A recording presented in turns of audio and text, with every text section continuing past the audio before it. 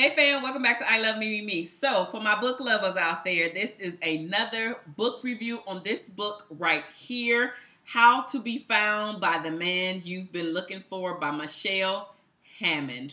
I love this book, and actually, um, I chose this book because I like the title, number one, but also because the young lady who is writing this book currently, um, she's actually not married. So she's actually in this situation herself. And so I thought that that was a great idea to do. And, and she's actually practicing these very things, these very tips, these very tools that she's actually showcasing and sharing with you guys. This is actually a very quick read. It actually has 157 pages.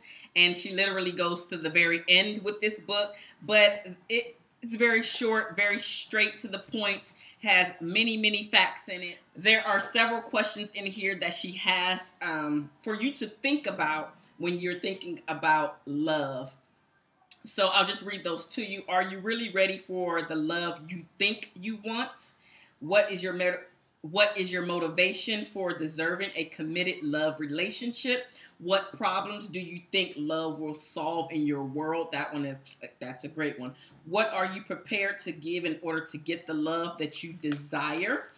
Are you willing to make changes in your world to accommodate the man you love? Do you know what you want in a man? Do you know what you should want in a man? Are your expectations of love realistic? And if you've never found a mate, would you still be able to lead a happy and fulfilled life? Those are really great questions to ask yourself when you're out here waiting for Mr. Right to choose you. I also have to say that um, this is just a side note for you fellas out there it seems that I read a lot of books about, um, you know, in regards to women. So if there is a book out there that you want me to review, and you know, read it and review it, definitely leave it down in the comment section below because I know that I have been reading a lot of books geared toward women. Um, but it's not on purpose. It's just really those are the books that actually capture my attention. Now I have done book reviews. Um, for books on men, but I will say that I don't really see them a whole lot as well. So don't think that I'm being biased on purpose, okay? So if you have a book out there that you want me to read, definitely list it down below because I would love to do that. And again, you guys know that I love to read, so I love to see the inside and hear the inside of what you guys have to say. Okay? anyway, getting back to the book, she definitely has these areas in here called man facts. Can you see that? Is it going to focus? Okay. Yeah. Okay. So, man facts. And this particular one actually says worldly Men have no problem dating church girls. They find them a delightful challenge, but just remember their intentions do not match yours. And then she has areas in here called personal confessions, which are her own personal confessions. The yeah, that, yeah.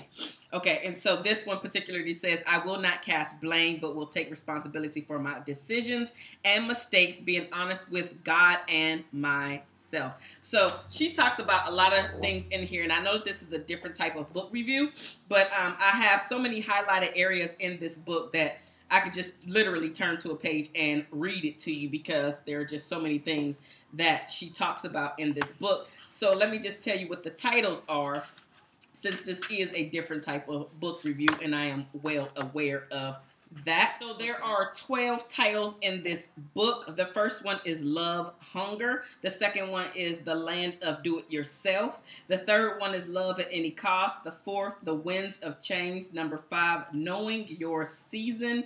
Number six, Making Life Work. Number seven, recognizing the man of your dreams. Number eight, turning the tide. Number nine, a woman of virtue. 10, where the rubber hits the road. 11, paying the cost to be. Number 11 is paying the cost to be the boss. And number 12 is the end of the matter. So, what I want to do is go ahead and um, take it from making your life work and it basically talks about the first rule. Uh, I'm reading, okay? what have you been sowing and what are you harvesting at present? What do you have to offer a man? And so she said the first rule in discerning if your new man is your Boaz is to see what his harvest looks like. If it is all drama, and accumulation of unfruitful relationships and dreams that are nowhere near coming true, he is not ready to be in a committed relationship to you. Should be in the harvest season of his life and have good fruit to show for it. Spiritual fruit as well as physical fruit. He comes into your life as a confident man because he knows he has something to offer, a safe place to rest your heart, and the means to make provision for you. As women, we should be equally fruitful. Cultivate a rich abundance of the fruit of the Spirit, which is kindness, goodness, patience, gentleness, faith, love, joy, peace, humility, and self control. But what about the external stuff? How does your savings account look? What does your home look like? Are you a woman who is prepared to be a wife, to make a house a home, and to add to a household the riches of your own assets? Assets. Be what you want to attract. So true. Be what you want to attract. If you want a together man, then be a together woman. Now is the time to prepare yourself to become the best you that you can be. Do not do this just for a man. Let me repeat that. Do not get yourself together just for a man. Do it for yourself. God has promised man that when he finds a wife, she will be a blessing and will add to his life and not subtract. Represent and represent well. So those are the type of things in here that she has a lot of great things to say. I mean, she really does. This one is from Knowing Your Season. What seeds are you planting in order to get the life and the love you want? Perhaps this is your season for self development. What dreams have you put on reserve? Hoping a relationship will save you from? Are you waiting to be rescued, carried off to an exciting life? Perhaps the man you would want to be exciting to you would not be excited by you because you are not doing anything for yourself. The key to attracting what you want is being what you want to attract. Remember, a man wants to be your hero, but he certainly does not want to be your oxygen. That means you have to get busy. You have to have a fulfilling um, life and activities already going on in your life. Now is the time to cultivate your interests and your gifts. Take full advantage of your freedom. You will never have more financial freedom or more time than right now. Spend it wisely, cultivating a well rounded and fascinating life. Do not pursue different activities based on if there will be a man that you can meet. Select what you true select what truly intrigues you. It is the best way to meet people who have similar interests. Amen to that. I mean, like, really? She said she said a whole mouthful in just that statement. And there are many things to consider um, just from that statement. Again, you do not want to do these things just because a potential man could be there. Like football. And so a lot of women they don't like football, right? And so what they'll do is they'll try to fake it, go out to the bar and get into the presence because they know that at this bar scene or at this sports bar or whatever, there are going to be a lot of men there. And so they try to fake the funk. And by the time they talk to the guy, the guy is like, I mean, she don't even know what she's talking about. and he's turned off with you because you were pretending to like football instead of just walking up to him and be like, hey, I'm really not into football, but what's going on? Like, can you explain the game of football to me? I've been wanting to understand and learn some things about football. Can you do that for me? So instead of being straightforward and to the point, you're basically trying to play and then you played yourself. All right, the last and final piece that I'm going to read to is a little lengthy, so just be patient with me. This one is from Where the Rubber Hits the Road. Now, I have to say, her titles of her actual um, chapters, to me, they suck. But but be, I wanted to make sure that I'm reading from some of these so you can get a better idea of what the book is about versus her titles because I don't think that her titles really tell you what's actually in that section. So this one is a little lengthy, but it's basically um, it's from where the rib, where the rubber hits the road, and then the subsection is taking care of you and yours.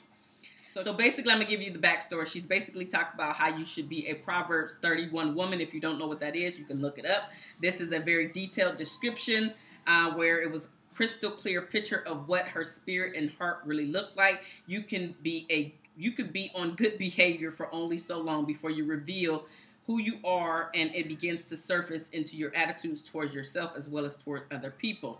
So ladies, rest assured that you're actually being watched. And then she gives a few reasons on, on a, a few things that you should do, okay, to get your package all together. So the first thing is to be resourceful. Um, there's a fine line between being self sufficient and knowing when to accept help. A man does stop to consider if a woman can handle life if something happened to him and he was not able to be there for her and his family. I mean, would she be a survivor and able to take care of the family, family, or would she become a victim, paralyzing her entire family in the midst of their circumstances? So, things that he would consider and it signals to him that life with you will not be one emergency after after the other. Together, you will be able to implement plans for the future and see them um, see them through to fruition which actually brings me to the second point, which is wisdom. A man wants a woman in his life who brings something to the relationship intellectually. He wants a thinking partner, not a bossy partner, not one who knows everything and is never wrong, not one who always talks and never listens. He wants a thinking woman with grace. He wants someone he can plan his life with and receive wise counsel from during the times when he is not quite sure which way to go. He will be willing, he he will be watching how you live your life and function in the midst of everyday chaos, how you rationalize situations that may be trying or difficult. Though no man desires a woman who thinks she is smart and will not let anyone forget it, wisdom actually is very important to him. Even in the course of natural conversation, a typical man is stimulated by a woman who is enlightening, who has enlightening things to say. Isn't it interesting that in most cases where a husband runs off with another woman, it is because he finds her to be more a, to be a more stimulating partner, not just sexually, but mentally as well. He feels he's finally met his equal, someone he can really talk to, someone who respects his ideas and thinks he is wonderful. She walks the walk by loving and serving him.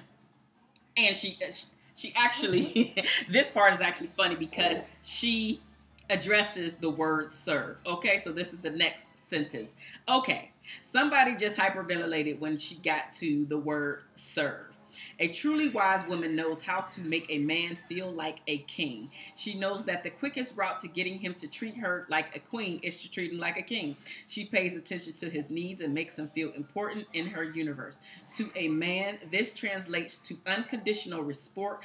Un- to a man, this translates to unconditional support by cheering him on when he does things right and seeking ways to cater to his needs.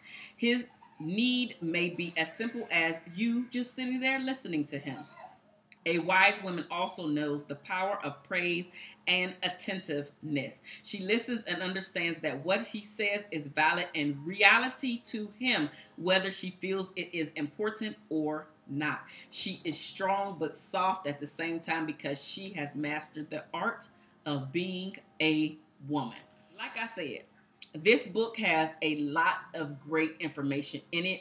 I must say that the only downfall for me is that I hate her titles of her chapters because it really doesn't match up to the meat that she has within said chapters. But I definitely will give it two thumbs up from Marshaun Olanio. I definitely recommend that you go ahead and pick up this book by Michelle Hammond, which is again how to be found by the man you've been looking for. It doesn't say go out there and search for him yourself, especially if you are a Christian.